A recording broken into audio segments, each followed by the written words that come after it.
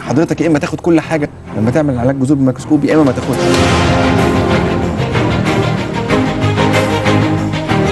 عصب ده لما يجيك ألم غير عادي. ال options اللي تضرهم أنا بمنعها من المركز عندي.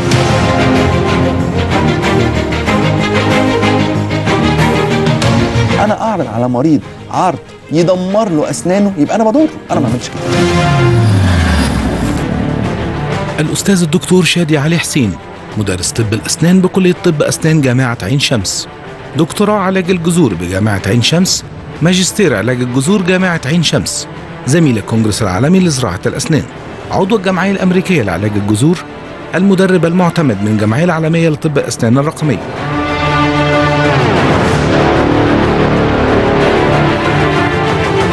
ضيف العزيز أستاذ الدكتور شادي حسين أهلا بيك يا دكتور أهلا بيك يا دكتور ايمن منورنا. الله يخليك. آه، حشوات تجميليه يعني إيه؟ يعني إيه كلمة حشوة تجميليه؟ المعنى ده ظهر قوي كويس. إحنا في تخصص عندنا في التخ... في كليه في في كليات الطب أسنان آه، اسمه العلاج التحفظي. يعني إيه العلاج التحفظي؟ اللي هو علاج كل ما هو خاص بتاج الأسنان. يعني جزء تاج الأسنان ده اللي هو الجزء اللي فوق اللثة. اللي هي السنة اللي أنا شايفها بمفهوم الناس كسنة. كل ما هو ينزل لتحت التاج ده اللي هو الجدر أو ال- الروت بتاع السنة ده بنسميه علاج جذور. إنما العلاج اللي هو بتاع التاج ده لما طالما لسه ما وصلش للعصب يبقى بنسميه العلاج التحفظي. آه، دايما الناس بتهمل الأسنان في المرحلة دي لحد ما يبقى عنده ألم لأنه ما بيبقاش عنده ألم فيبتدي يهمل السنة في هذه المرحلة. فدلوقتي التقدم أصبح عالي جدا أصبحنا بنعمل جزء كنا زمان نقعد نفتح كل السنة عشان نحشيها كويس؟ عشان خاطر كانت القصور في مواد الحشوات زي الحشو البلاتين أو الحشو الأبيض كان بيخلي إن إحنا لينا في حاجة اسمها retention form أو حاجة زي تحافظ على الحشوة ما تقعش. فده يمكن مريض كان عنده حشوة البلاتين الموجوده دي. ولو تلاحظ دكتور أيمن شايف السنة الصغيرة دي بنسميها الضواحك.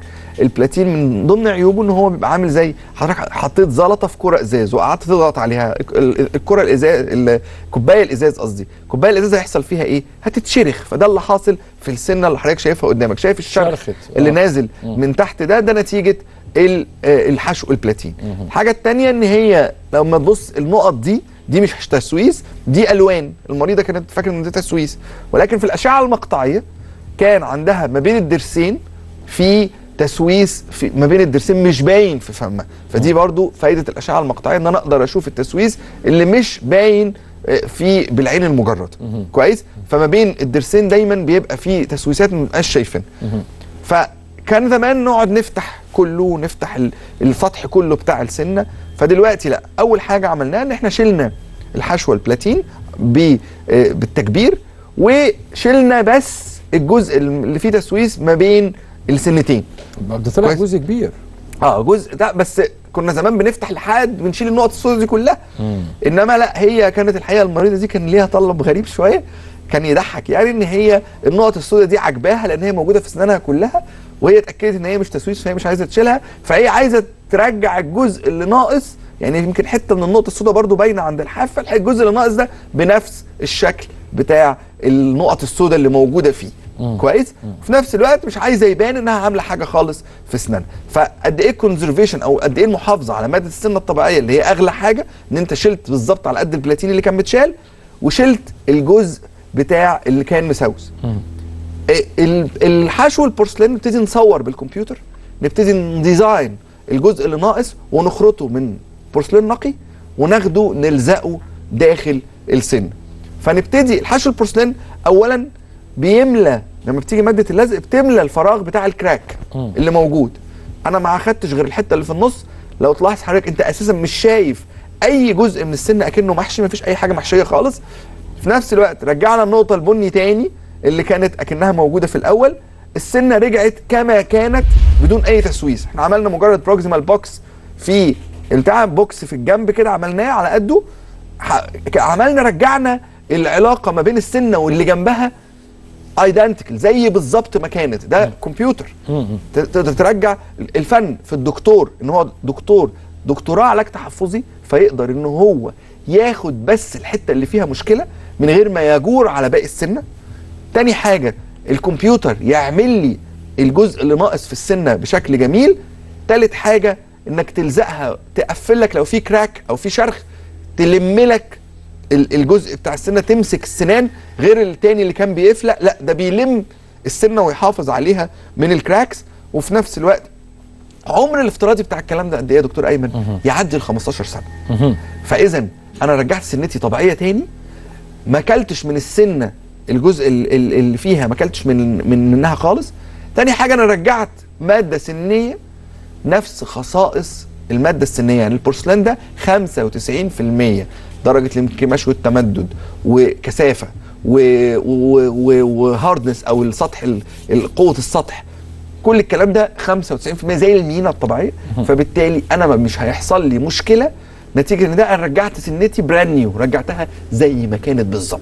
هنا لازم نفهم إنه كتير من الأفكار عن الأطقم ممكن تكون مختلفة. الأطقم الأطقم يعني أطقم الأسنان ممكن جدا آه، أفكارنا فيها تبقى مرتبكة وناس حافظة جمل من قديم الأزل لأن دي الفكرة بتاعت جده وجدته.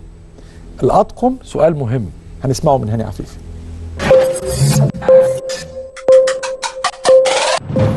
كتير مننا شاف جده أو جدته بعد ما فقدوا أسنانهم وبدأوا يركبوا طقم أسنان وطبعا بيصعب علينا حالهم. لكن أكيد حالهم أفضل كتير من الأجيال اللي سبقتهم. لأن مراحل صناعة أطقم الأسنان مرت بتطورات غريبة.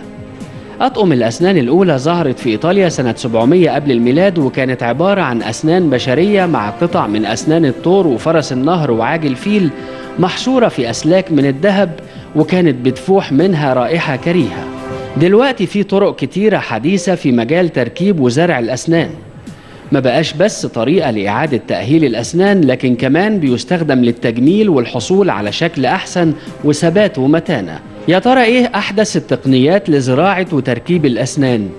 وإزاي بتتدخل التكنولوجيا في إعادة بناء الأسنان؟ وإيه هو الزرع الفوري للأسنان؟ التقنيات الحديثة والزرع الفوري هو ده الأهم في آه، حوارنا اليوم ال- الزرع الفوري. طبعا سمعناه كتير. لكن ناس كتير على فكرة بتجي لك تقول لك أنت قلت الزرع الفوري زراع لي فوري. هو الفكرة ببساطة إن إحنا يمكن عندنا دلوقتي نوعين من التركيبات.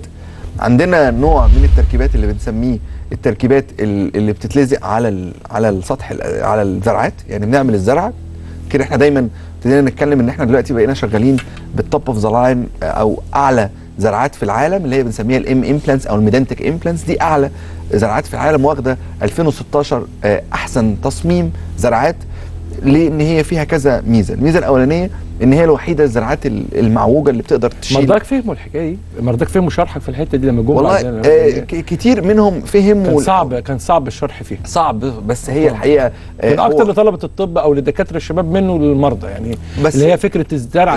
المعي- المايله دي وهي الحقيقة زرعة هايلة جدا جدا يعني وفرت علينا كتير. آه ال ال النوع الثاني أو الحاجة الثانية اللي مهمه جدا إن هي ال connections أو الارتباط ما بين الجزء العلوي والسفلي بتاعها قوي جدا فبيبقى الفك إن ال- الزرعة تفوق كتير. آه الزرعة بتمسك بسرعة قوي. يعني الزرعة في سبع أسابيع بتبقى مسكت في في العظم بشكل آه كبير قوي. طيب آه، آه، الميزة في في في ال- في التركيبات الجديدة إيه؟ زي ما بنتكلم إن إحنا ابتدينا نفهم أكتر يعني إيه إن إحنا ندرس العلاقة بتاعت الفكين ببعض ال- العلاقة بتاعت الفك بالوجه.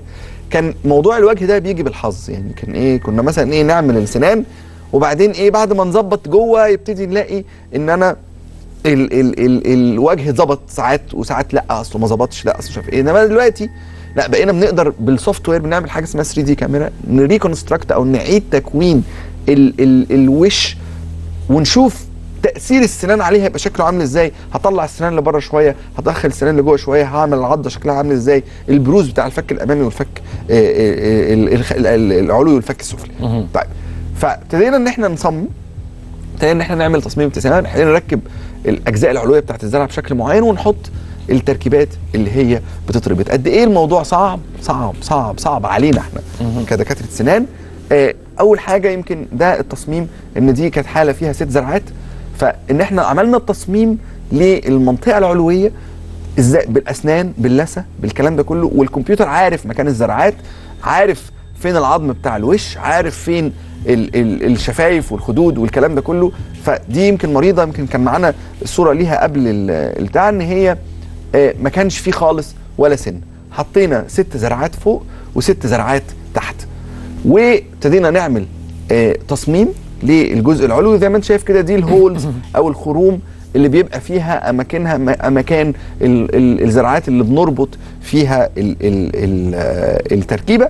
ونبتدي نتشك العضة إن العضة تمام. لأ ده أنا والله عندي في بروز في الفك السفلي شوية. يعني دي مش النهائية ده كان في ديورنج التصميم. أنا بقرب لفكر الناس إزاي إحنا بنقدر نشوف بتاع. فده منظر يمكن ال ال الزراعات لما ركبنا عليها الحاجة اللي هي هيتلزق عليها أو هيتربط عليها آه، التركيب.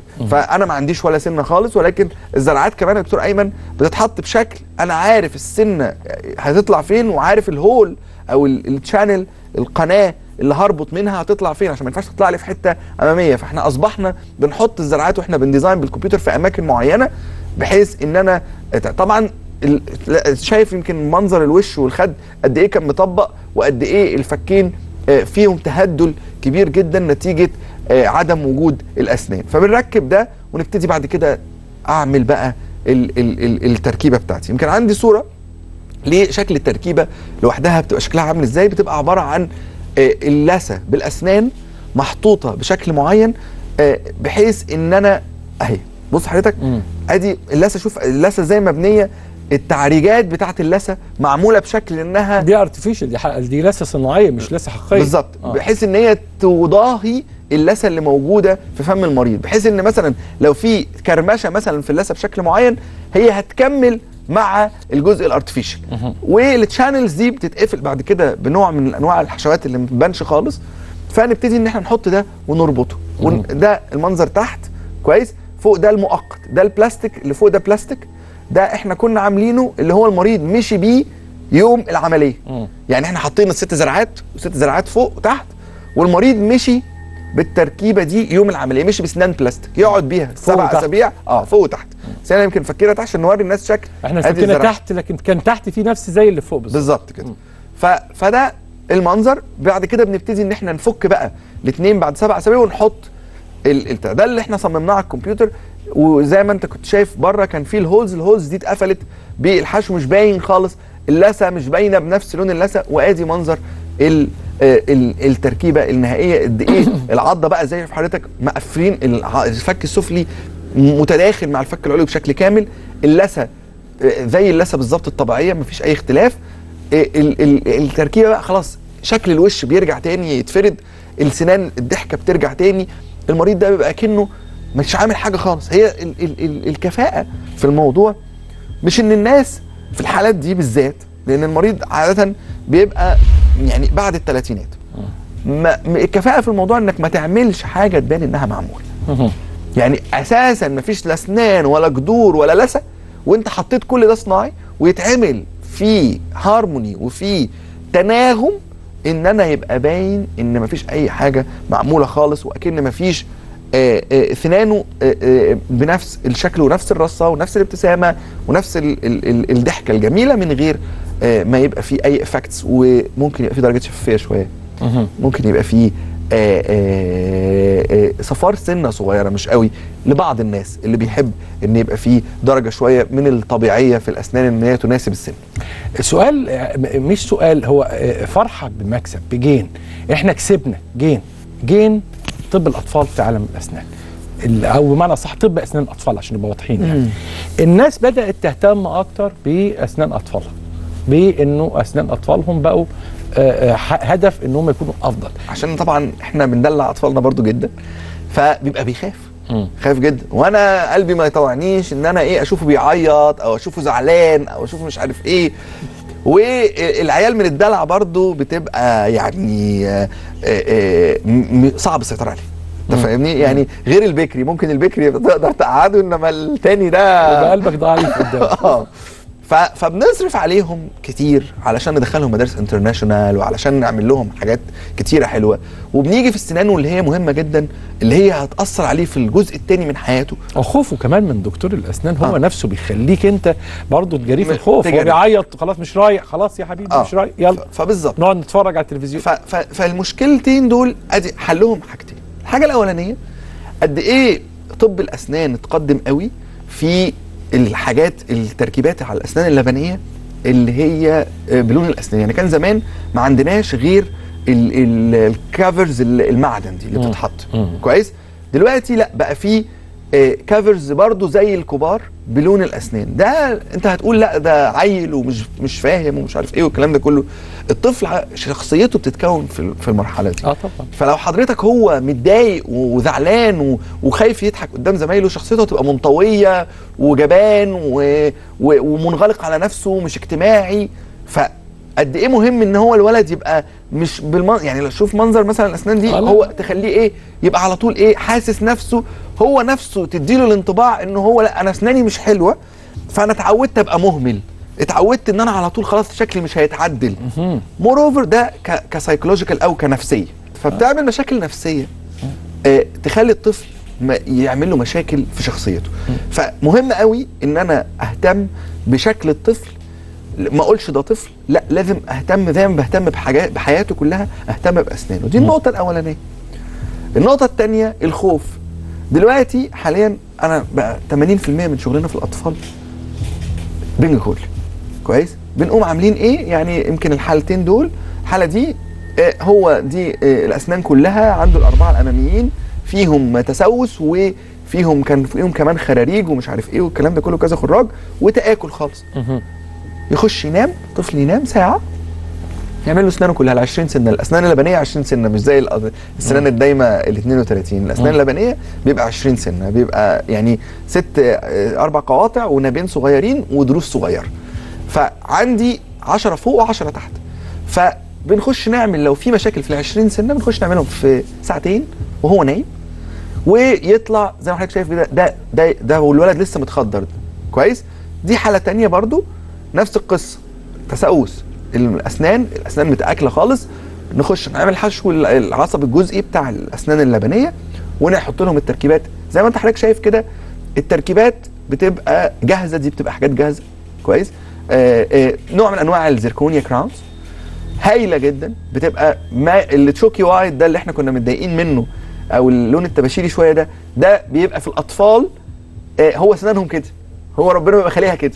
فبيبقى مناسب جدا قد إيه الأسنان الجاهزة دي بتبقى مناسبة جدا للأطفال وبتبقى مناسبة جدا للسن ده. فالطفل بيخش ما بيحسش بقى بألم ولا أي حاجة هو بينام. كويس؟ آه، فأنا ال- ال- لا هخاف عليه بقى ولا هزعل ولا أي حاجة خالص ولا هو جبان مش جبان مش مشكلة.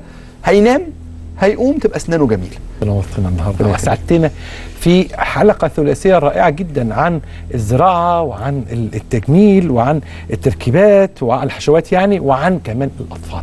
يعني الأطفال النهارده ولو ان برضه هم خد وقت آه، في الآخر كده نديهم وقت أكبر في المرة الجاية لأنه عالم طب الأطفال في الأسنان بقى أو عالم طب أسنان الأطفال بقى عالم مهم جدا جدا. دكتور شادي نورتنا. ربنا يخليك يا دكتور ايمن خليكم دايما مع الدكتور.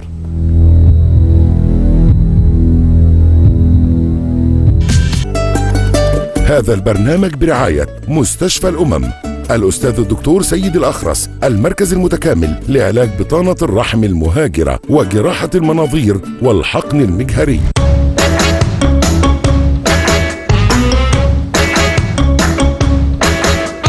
مع شايني وايت ضحكتك تعبر عنك.